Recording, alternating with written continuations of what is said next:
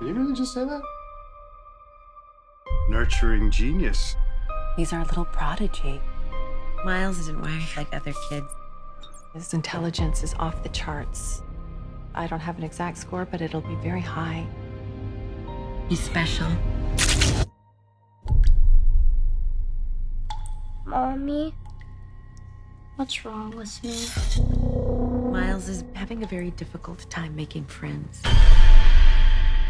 I want you to tell me everything that you remember. I don't remember anything.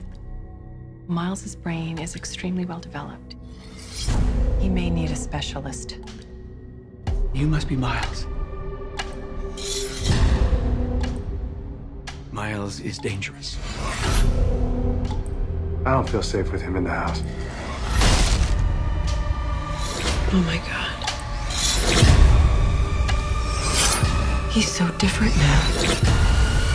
I feel like I don't know him. Mommy, will you always love me? No matter what I do.